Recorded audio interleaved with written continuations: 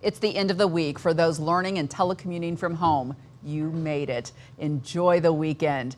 Tonight, Fox 2's Tim Ezell looks at enjoying every single day in tonight's Daily Inspiration.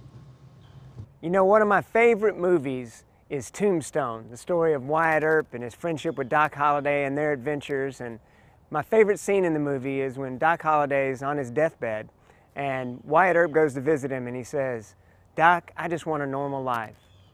And Doc replies, Wyatt, there's no normal life, there's just life. It's true, isn't it? And these times right now are just a bigger emphasis on that, showing us that you never know what life's going to throw at you, but we have to embrace life in everything that it brings, in all that it brings.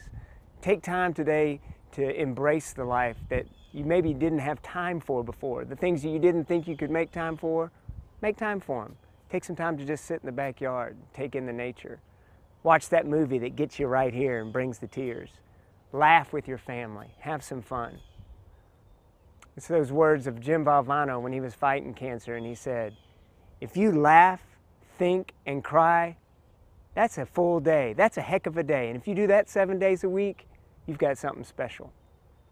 Make every day special. Make them all last. Take this time to enjoy the things that you maybe took for granted before.